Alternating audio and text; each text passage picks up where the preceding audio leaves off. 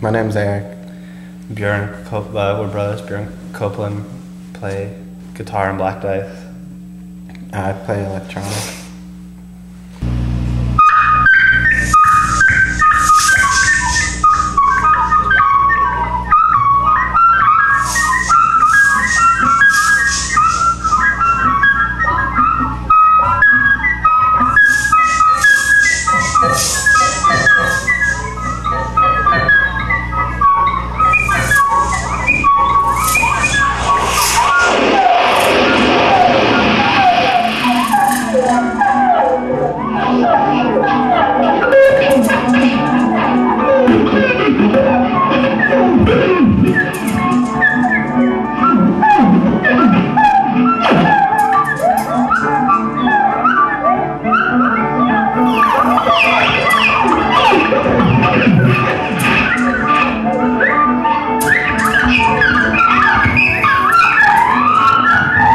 Think it's a little misleading in a way. I, when most people apply the term noise to something, it seems to be uh, usually like just straight abrasive music or texture, and we there's elements of that in what we do, but we definitely try to make sure that it's like a flexible enough thing that we that all our music doesn't come out sounding like really dark or violent or anything like that. So it, it is noise, but it, at the same time, I mean, the way we look at it is probably a lot more like the way someone who's making a pop song is looking at it. I mean, there's things like we try to accom- accomplish besides just making noise.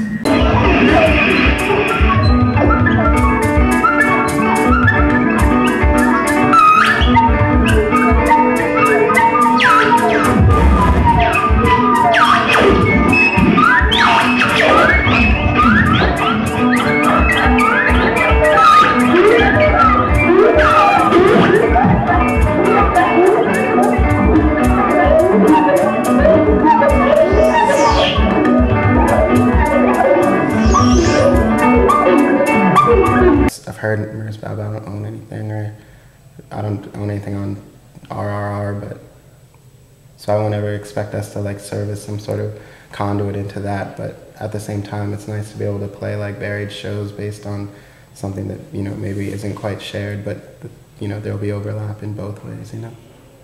Yeah, I think that it's. I mean, there's definitely co- some common ground between the music you just said and you know between bands like who are working with just straight noise like Mers Bauer, Masonna, or any of any of those sorts of bands, and what we're there's definitely some overlap. So, um, but you know, really all you can do is just sort of play it for whoever shows up, and and hopefully, you know, hopefully they'll like what they hear and maybe want to listen to other stuff, but it, sometimes it's challenging enough just getting people to listen to what we're doing and uh, sort of take it in for what it is and you know not always making a, it's so easy to make like associations based on like labels that you're on or bands you tour with and stuff. But um, you know I, I hope that i hope that there's something about us that allows people to you know that encourages people to check out different types of music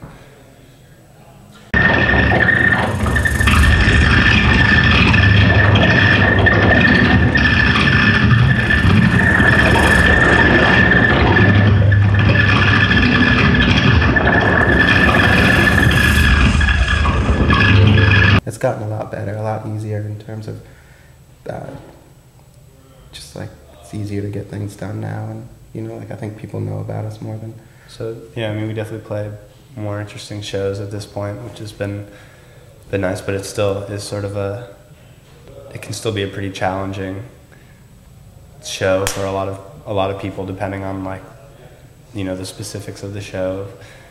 Um, some parts of the country, the stuff will go over really well, and then other nights, just, you can clear a room, or we can clear a room pretty fast to um, but yeah, I mean, in this format, it's basically it started off like in a lot more musical. I mean, it was it sounded a lot more like thrash or something or old hardcore when we started off, and eventually, like we just started getting more and more into like some of this the sounds that were coming out of our instruments like almost by accident, and just started becoming more and more interested in making our songs with different source sounds rather than just like the straight one, like the you know, than rather than just bass guitar and drums and vocals. Although, I mean, I think compared to a lot of bands that are straight are considered like straight noise, we almost have like a rock setup, and uh, and our approach is in in some ways I think very much like a rock approach to to making the music that we make. We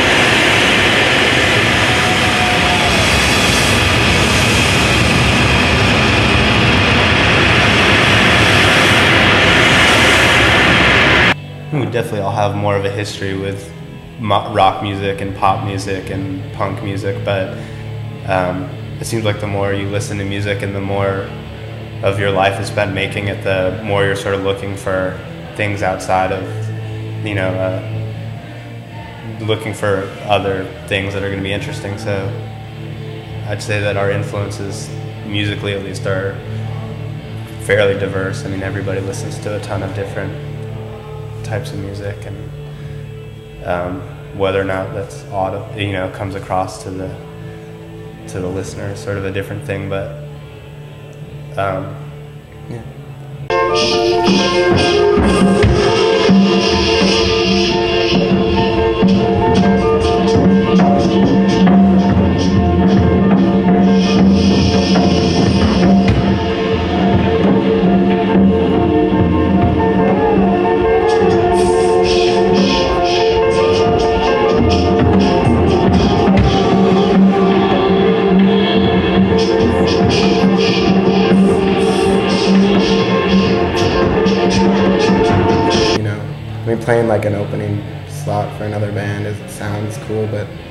It's never.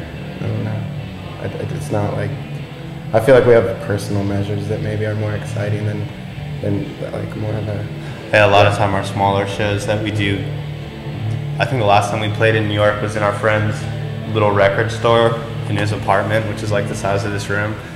And um, I mean, that was like a show that was super fun. I think the the Throbbing Gristle one will be. I mean, it's definitely flattering to have bands that you um, that you respect.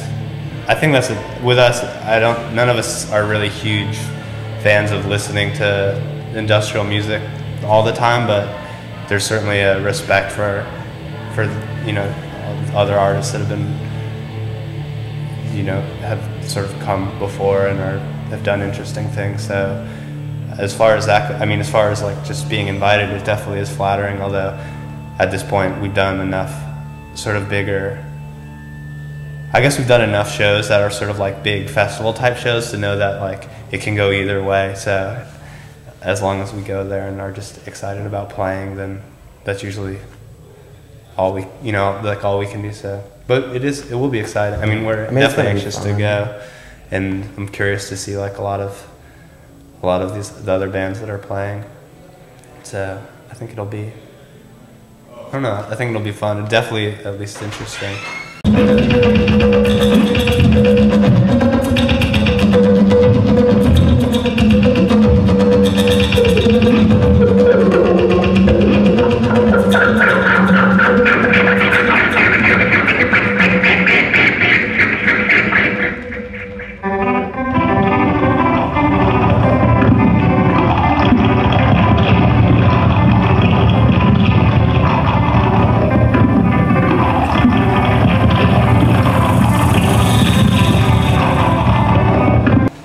summer at least we did so we did so many festivals in Europe and went to Jap- Japan and we did like one of the all tomorrow's parties like in LA. And so there's been like in the last year we've sort of um, you know been fortunate enough to be invited to like a lot of these things, and it seems like with a, a lot of the people that are booking these festivals.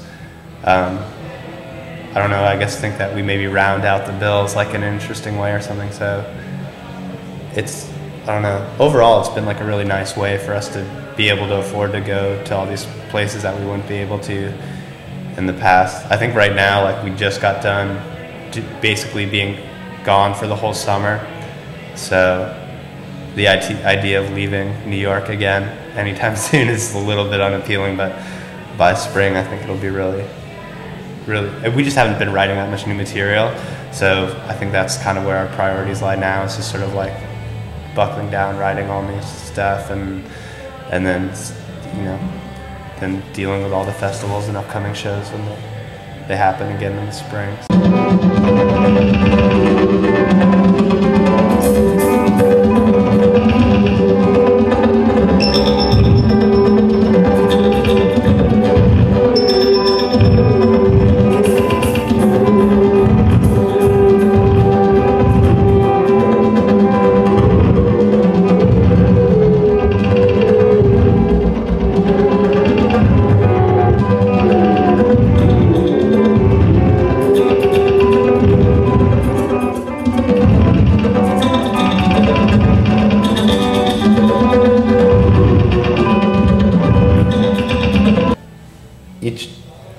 Kind of thing is just such like a different project that it's nice to have a you know like a new approach no matter what the outcome's going to be. Like that 12 was very much a sort of like a one idea that none of us want to do anymore because i feel like we did it okay. You know like that record's pretty good and we worked we worked hard on it but i wouldn't want to like repeat that record again. And sort of each record's kind of been a little bit different like just how we've gone into recording or, or you know like if we had the material written beforehand or afterwards or just like different mixing processes. So I feel like now we're just we're kind of like in the middle of a new of recording a new record and it's really different than the first one and I feel like really different from that 12 especially. Yeah. I feel like it's more just about sort of I don't know, just kind of approaching as it comes, and all we have to do is make ourselves happy for the most part. I mean, each project is sort of approached a little bit differently. That 12 was definitely, um, you know, we made decisions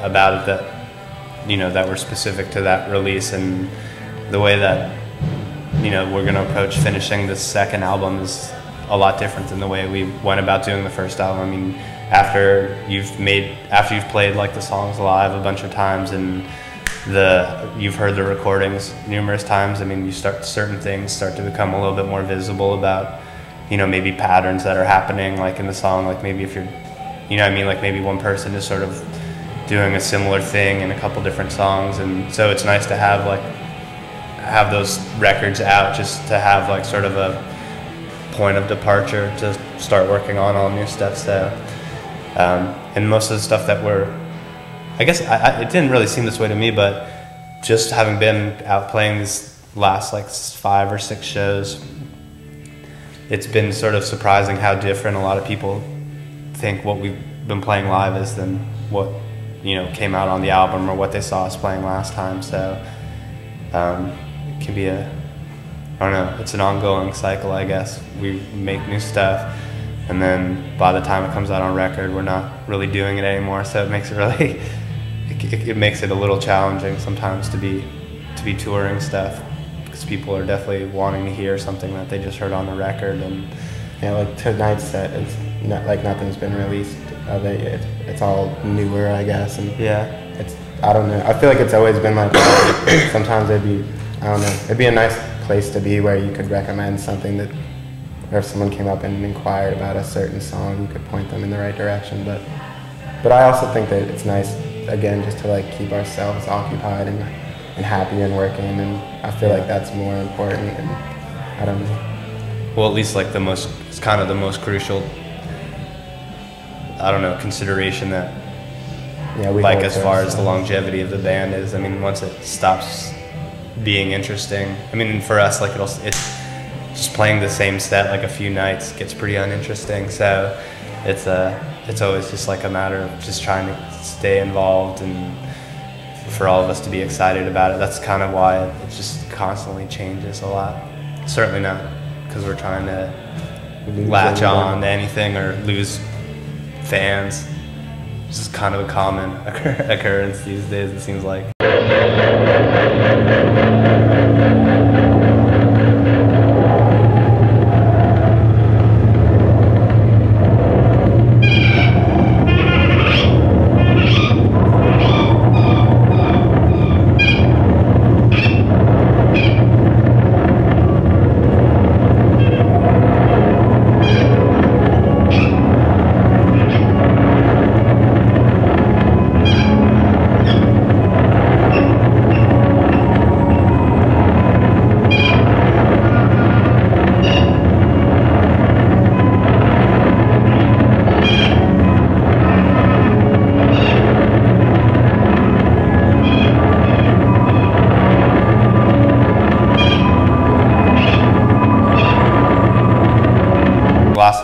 Went into a studio, we were sort of trying out like a lot of gear that they had there, and really weren't into any of it. I mean, it's um, you know, no one had like a relationship with any of Yeah. the sounds or like how anything worked, and then you know like even putting it through your stuff made it a little bit more. But for the most part, I feel like it is kind of what Bjorn was saying. Just like a lot of it's just like the equipment is kind of budget.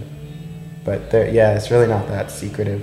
We Lots of delays. Yeah, it's a lot of a lot of delays. Um,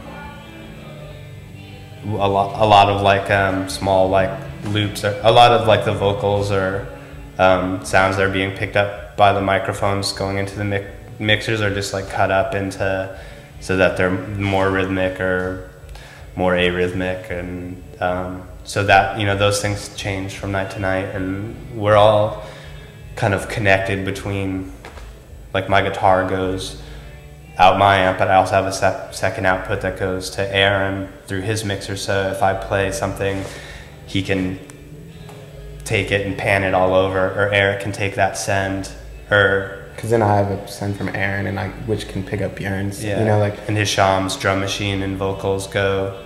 So it's I don't well, I was just trying out new things. Like the whole idea of sends was pretty new until you know like six months ago. But all of a sudden, it just kind. of, I don't know. I feel like we just try a lot of stuff, and a lot of it is just kind of like spending time together and working it out. But Plus, we've gotten more, and our tastes have just sort of changed a lot. And at the, at this point, I mean, a lot of us listen. I don't know. I mean, we all listen to so many different types of music that it's um, it's kind of nice to see how.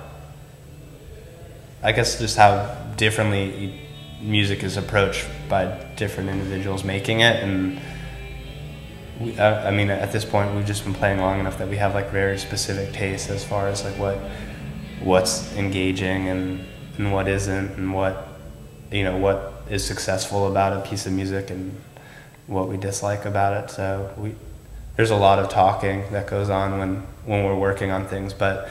Um, being able to sort of share the responsibilities literally at this point and trade off sounds has become um, something that you know I think has opened up a lot of doors as far as like our ideas about making music and um, the equipment is a part of it. I mean, part of the reason the music keeps evolving is we'll be acquiring little things or you know replacing pieces of equipment with new things, but it basically comes down to just like our tastes and just us being able to you know communicate what you know what's interesting to us